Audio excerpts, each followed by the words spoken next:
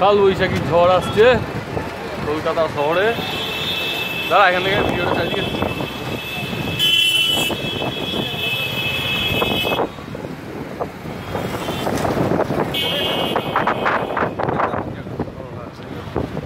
চ চ